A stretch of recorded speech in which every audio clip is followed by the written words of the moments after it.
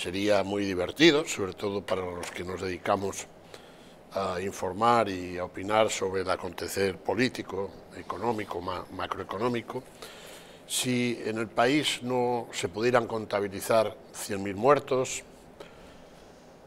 6 millones de parados, eh, el 118 del PIB de deuda pública, eh, las grandes empresas eh, transnacionales españolas en almoneda, un 53% de paro juvenil en algunos sectores de la población española, colas del hambre, etcétera, etcétera. Es decir, serían divertidos. Pero en fin, vamos al braserillo que nos ocupa hoy. Yo creo que el personaje central eh, es el primer ministro de facto, que es Iván Redondo. Es el primer ministro de facto.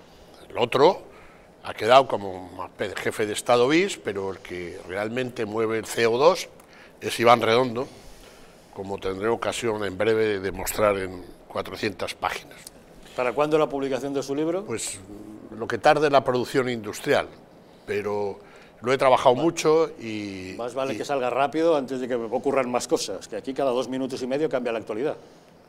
Sí, sí, bueno. Pero bueno, ¿es verdad que Iván Redondo ha preparado ya un equipo de más de 100 personas con fondos ilimitados para preparar esta campaña en contra de Isabel Díaz Ayuso? Bueno, tiene muchos. Él tiene, eh, de los 708 que hay en el complejo de la Moncloa, 200 eh, y pico son suyos.